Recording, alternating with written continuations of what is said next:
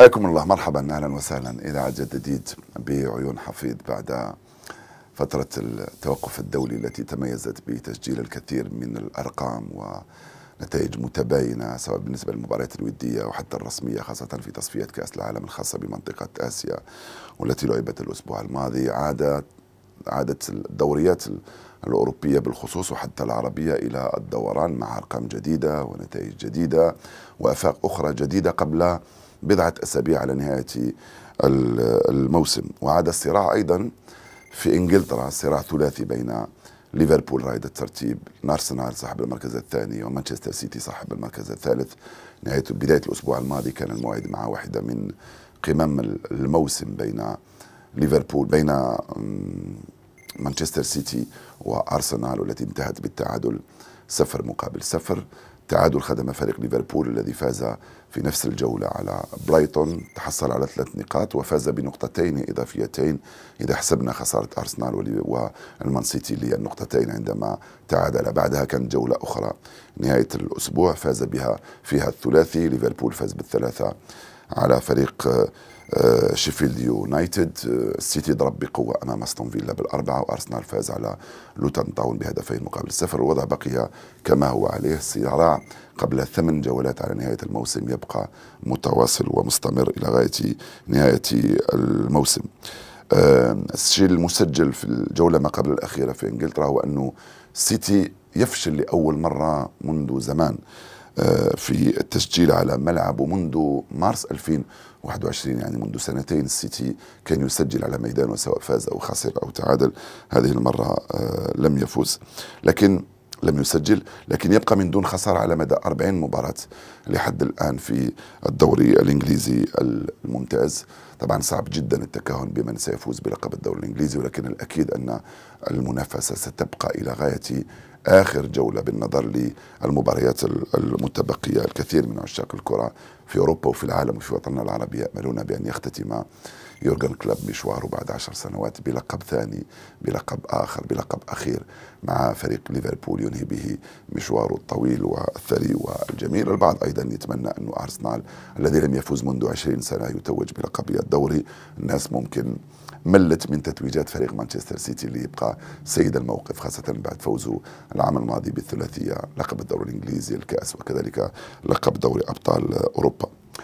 الحديث في إنجلترا مختلف عنه في ألمانيا. تراجع رهيب للبايرن واستمرار تألق فريق بايرن ليفركوزن الفريق الوحيد في أوروبا الذي لم يخسر هذا الموسم في جميع المسابقات دوري وكأس ألمانيا والدوري الأوروبي. هذه المرة عمق الفارق 13 نقطة على البايرن قبل سبع جولات من نهاية الموسم بعد خسارة البايرن على ميدانه أمام بوروسيا دورتموند بهدفين مقابل صفر.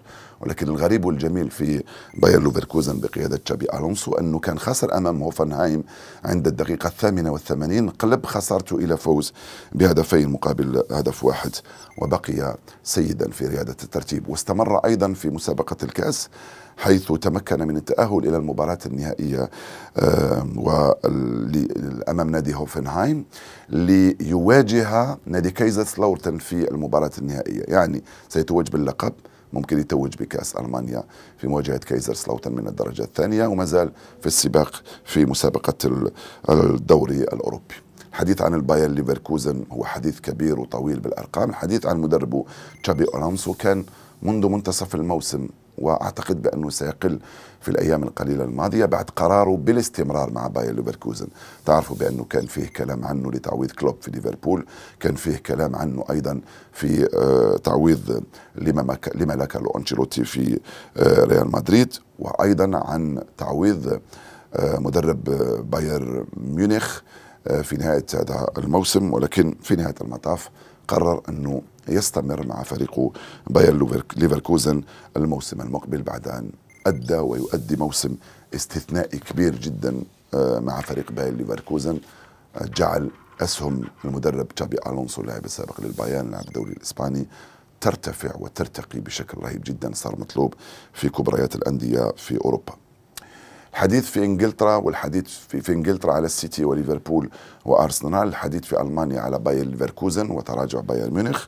الحديث في, في فرنسا هو عن بي إس جي وعن مبابي. مبابي الذي يستمر الحديث حتى بعد إعلانه في بداية فبراير الرحيل في نهاية الموسم وعدم تجديد عقده مع فريق باريس سان جيرمان بلغ المباراة النهائية للمرة العشرين في مشواره بعد فوزه في مباراته أمام فريق ليون بهدف مقابل صفر بفضل كيليان مبابي.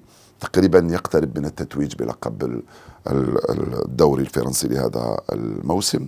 في المباريات النهائية سيواجه آه، فريق عفوا سيواجه فريق ليون في المباراة النهائية لأنه فاز في الدور النصف النهائي على ران قلت سيواجه ليون في مباراة كبيرة بين العملاقين. كل هذا يحدث على وقع جدل مازال متواصل جدا كان متواصل واستمر وخرج بطريقة أخرى بعد مواجهة أمام آه، ران في الجولة الماضية عندما بعد المواجهة أمام مارسيليا عفوا في الكلاسيكو عندما كان باريس سان جيرمان متفوق بهدفين مقابل صفر. أخرج المدرب لويس إنريكي كيليان مبابي في الدقيقة 60 وسائل الإعلام قال بأن مبابي تفوه بكلام بذيء ومشين تجاه مدربه. مدرب في اليوم الموالي قال بأنني لم أسمع ولم أرى شيئا. مبابي لم يتكلم. مقربين مقربون من مبابي قالوا بأنه قلة احترام تجاه مبابي أنه يخرجوا في الدقيقة 66 في آخر كلاسيكو يلعبوا أمام مارسيليا. كان يود ويتمنى أنه يسجل ولكن في نهاية المطاف لم يكن في المستوى. خرج مبابي فاز باريس سان جيرمان عاد مبابي في مباراة الكاس. شارك أساسي لعب 90 دقيقة. سجل هدف الفوز الذي سمح للبي إس جي ببلوغ النهائي. الأسبوع المقبل سيكون الموعد مع مواجهة برشلونة في البارك دي برانس يوم الأربعاء المقبل في ربع نهائي دوري أبطال أوروبا. يبدو أنه مسلسل مبابي لم يتوقف. هناك أيضا كلام عن هجوم معاكس من باريس سان جيرمان الذي آه، يريد بالمقابل آه، استقدام فينيسيوس جونيور. هناك من يقول عن عرض بقيمة 200 مليون يورو للريال من أجل استقدام فينيسيوس جونيور هو كلام في وسائل الإعلام ليس هناك شيء رسمي ليس هناك شيء رسمي حتى فيما يتعلق بمبابي ووجهته مبابي فقط سرب وقال بأنه سيغادر إلى أين الوجهة؟ لم يتأكد. بعد الناس تنتظر في هجوم معاكس من باريس سان جيرمان سواء باستقدام فينيسيوس جونيور أو بتقديم عرض جديد لمبابي. أعتقد بانه كل شيء متوقف على مشوار البي اس جي في دوري أبطال أوروبا لهذا الموسم. إذا فاز به سيكون كلام آخر بالنسبة لحكاية مبابي مع باريس سان جيرمان وكذلك ريال مدريد. عربيا الدوري السعودي يبقى يستقطب دوري روشن يستقطب الاهتمام ويستقطب الانتباه في السعودية وفي الوطن العربي بالنظر للنجوم الموجودين هنالك. هناك آه، الأسبوع الماضي كان فيه الموعد مع ديربي جدة بين الأهلي والاتحاد الذي عاد فيه الفوز لأهلي رياض محرز وعاد رياض محرز إلى الواجهة بفضل الوجه الطيب الذي صار يظهر به خاصة في المباراتين الأخيرتين مقابل تراجع مردود بنزيما كانت فيه انتقادات كثيرة جدا في الاتحاد لكريم بنزيما ومردوده حيث يبقى بتسعة أهداف هو وريد محرز بنفس الرصيد ولكن في الجهة المقابلة يبقى كريستيانو رونالدو هو سيد الدوري سيد الدوري لا هو هو الهلال كفريق ولكن كلاعب كريستيانو رونالدو لم يفقد لا توازنه ولا قدراته ولا إمكانياته ولا ولا مستواه ولا حسه التهديفي حيث لا يزال هو هداف الدوري ب 29 هدف سجل من بينهم ثلاثة في المباراة الأخيرة لنادي النصر أمام أبها الذي فاز فيه نادي النصر بثمانية مقابل صفر. إذا عاد رياض محرز إلى الواجهة. آه، رونالدو ما زال سيد الموقف. تراجع مردود كريم بنزيما وعادت شعبية رياض محرز مع نادي الأهلي بعد الانتقادات التي وجهت له السؤال المطروح هل سيعود للمنتخب في شهر يونيو المقبل بعيدا عن كل الكلام الذي يثار والذي يقال هنا وهناك؟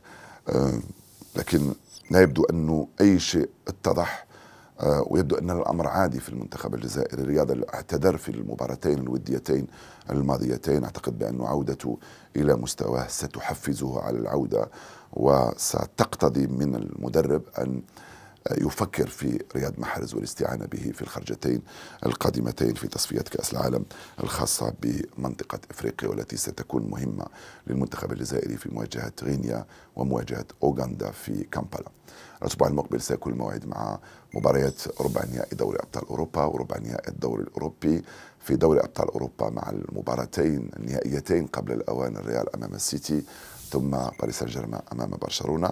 حتى في الدوري الأوروبي فيه لقاء قمة إيطالو إيطالي بين الميلان وروما. سيكون السنسيرو مسرحا له. سنعود ونتحدث عن كل هذه الأحداث والمستجدات في موعدنا المقبل بعيون حفيظ. السلام عليكم.